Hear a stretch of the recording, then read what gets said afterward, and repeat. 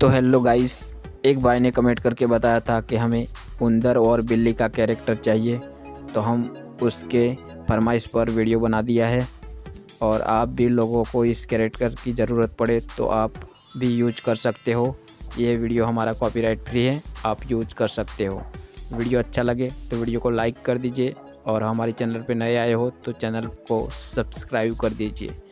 साथ में bell icon press करके ऑल पे लगा दीजिए, ताकि मैं जब भी वीडियो अपलोड करूँ, आपके पास सबसे पहले नोटिफिकेशन आए।